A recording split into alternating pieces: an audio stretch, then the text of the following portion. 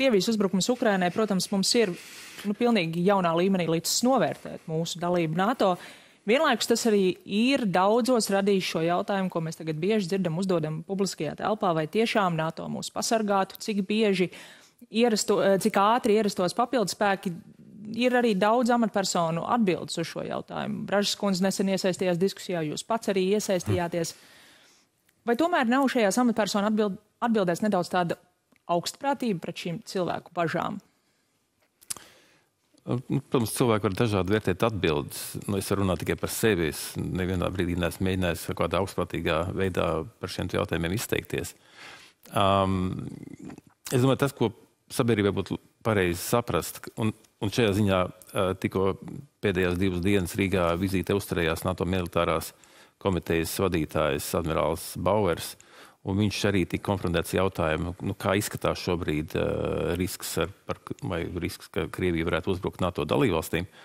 Un viņš to apliecināja ļoti skaidrā valodā, ka šobrīd uh, NATO uh, dalībvalstu un arī dienestu rīcībā nav nekāda informācija, kas indikācijas, kas liecina, ka tāds uzbrukums būtu sagaidāms tuvākajā laikā.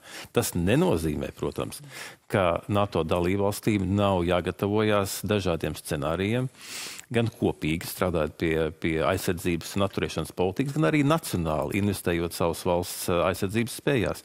Bieži piemin piekto paragrāfu. Viens par visiem, viss par vienu. Fundamentāls princips. Bet tajā pašā laikā tikpat svarīgs paragrāfs ir trešais, kas runā par to, ka katrai dalībvalstī ir pienākums arī pašai investēt savā, savā aizsardzības spēju attīstībā. Protams, un mēs acīm redzam investējam un ir plāni investēt ar vien vairāk, bet nu, laikam jau tas iemesls, kas cilvēkos tomēr šīs bažas šobrīd, ka kaut kas varētu nenostrādāt, mm. rāda ir tas, ka Gluži vienkārši viņi šeit šobrīd neredz tādus spēkus, lai varētu domāt, ka, ja kāds mēģinātu nākt pāri Jā. robežai, tad uh, viņi atspēs. Es, es, es saprotu, bet redziet, nav, nav arī uh, nu, tiešām liederīgi uzturēt šeit pilnīgi nevajadzīga apjoma militārās spējas uh, un tērēt tam velti līdzekļus.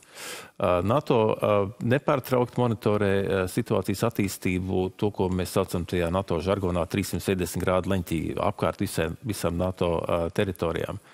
Un tajā brīdī, ja NATO ir informācija par to, ka kādā reģionā eh, veidojās situācija, kas var novest līdz krīzē, vai tur tiek akumulēti militārie spēki, tad mums ir jau šobrīd instrumenti, kas ļauj demonstrēt, ka mēs būsim gatavi, ja kāds varētu izdomāt, uh, izaicināt Lat uh, Latvijas, nu, piemēram, vai NATO dalību valstu drošību.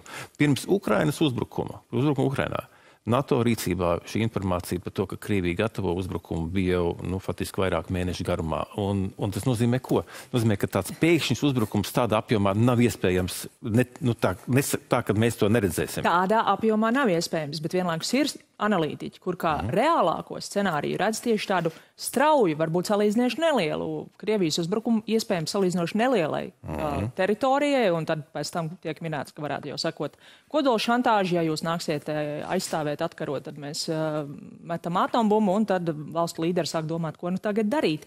Vai tad NATO aizsardzības plānos pēkšņs, neliela mēroga, bet mm -hmm. pēkšņs uzbrukums nav apskatīts? Noteikti ir. Protams, ir apskatīts. Un Protams, tādā apskatīts. gadījumā pie pēkšņa uz, uzbrukuma, kur nav divus mēnešus iepriekš uh, bijusi koncentrēta, Mum... tur jūs teiktu, mums šobrīd pietiek šeit uz vietas spēku, lai to atvairītu? Mums, mums šobrīd pietiek uh, spēku uz vietas, lai varētu šādus pēkšņus uzbrukumus atvairīt. Un nepieciešamības gadījumā NATO ir iespējas šeit iesviest, nu, tādu trīsākās valsts izmantoja tādu žargonu, papildus spējas ļoti ātrā ļoti ātrā laika periodā. Ukrainas uzbrukuma brīdi, uzbrukumā, tajā brīdī, kad tika uzbrukts Ukrainai 22. gada februārī, Latvija saņēma papildus spēkus no sabiedrotajiem burtiski dienas laikā. Ukrainā mēs, protams, arī redzam, cik ārtā, ārkārtīgi postošs karš ir tajā teritorijā, kur tas tiešām fiziski arī notiek. Mm. Kāda ir tā plānotā NATO uh, taktika, vienalga, kuras dalībvalsts uzbrukuma gadījumā, vai Jā. tas ir atsist uzbrukumus, vai tas ir arī tiešām kā... dot triecienus Krievijas teritorijā, lai tā vairs nespētu uzbrukt? Jā, kā jau minēju, NATO politika balstās divos tajos galvenajos pīlāros, elementos atturēšana un aizsardzība. Un tas galvenais akcents ir vispirms, kā prioritārais, ir atturēšana. Šobrīd NATO aizsardzības spējas Ja mēs raugamies uz, uz burtiski dažas dienas atpakaļ, vai pat vakardien, eh, Britu uh, aizsardzības ministrs savā parlamentā bija konfrontēts arī ar piektā paragrāfa, kā tas izskatās iepratim Britu interesēm.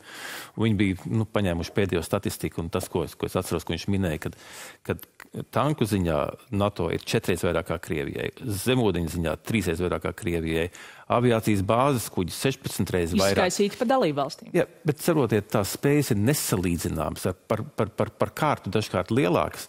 Un no Krievijas puses tas tiešām būtu neprāts mēģināt izaicināt kopējās NATO militārās aizsardzības spējas. Ja viņi tiešām uz kaut ko tādu saņemtos un viņi tiešām būtu tik neprātīgi, tad tā, lai uz to reaģētu, ir aizsardzības plāni, kas tika apstiprināti pagājušā gada samitā uh, Viļņā. Um, alianses dalībvalstis un, uh, un, un plānotāji strādā pie tā, lai ar uzdevumu, lai iegadījumā ir uzbrukums jebkurā vietā alianses teritorijā, lai nepieciešamie spēki būtu pareizajā vietā un pareizajā laikā. Mēs uh, redzam uh, uzbrukums ar raķetēm, ar droniem Ukrainas teritorijā, un mm -hmm. tas ir aktualizējis jautājumu par uh, pretgaisa aizsardzības sistēmām, kas ir ļoti, ļoti, ļoti dārgas, kuru mm -hmm. nav daudz, tās tiks ražotas, bet, protams, jautājums kādā apmērā. Kaut vai pie mums Latvijā mēs zinām, mums ir Hesi, mums ir militārā bāze, mums ir pierobeža, mums ir galvaspilsēta ar lielu iedzīvotāju koncentrāciju. Vai NATO ilgtermiņā vispār ir tāds plāns izveidot, nu, mēs Izraels gadījumā runājam par dzelzs vairogu, dzelzs vairogu pāri NATO debesīm? NATO neapšaubāmi pretgaisa aizsardzības jautājums tiek apskatīts kā viens no akūtākajiem, un jums tiešām ir taisnība, ka, ka šajā ziņā ir spēju, tas, ko sauc par spēju iztrūkumu. Kāpēc? Tāpēc, ka tīri objektīvi iepriekšējā desmit gadēs uh, dalībvalstis pat nebija iedomājušas, ka varētu būt Eiropā tāda situācija modernajos laikos Eiropā, kad ir pilna uh, mēroga agresija pret citu suverēnu valsti. Uh, Kas tiek darīts? Eh, tiek veikti papildus militārie pasūtījumi. Nemaldos, burtiski pirms dažiem mēnešiem tika parakstīts vienošanās, kur vairākas valstis vienojās veikt pasūtījumu ražotājiem par tūkstotis patriotu aizsardzības raķešu, raķešu iepirkumu. Latvija parakstījusi uh, līgumus kopā ar Igauniju iepirkt Vācijas uh, pretgaisa aizsardzības uh, sistēmas pret kuģu raķetes un tam līdzīgi. Tas, tas tiek darīts, tas tiešām prasa laiku. Tas tiešām prasa laiku. Un jautājums Tur... par apjomu. Un jautājums arī par apjomu. Jā. Tā kā, tā, kā tā, tā, tā, teiksim, tā nepieciešamība un vajadzība ir apzināta. Un, un tieši tā, Ukrainas, Ukrainas kara piemērs parāda, nu, kad, jā, ka šī lieta ir, ir, ir svarīga.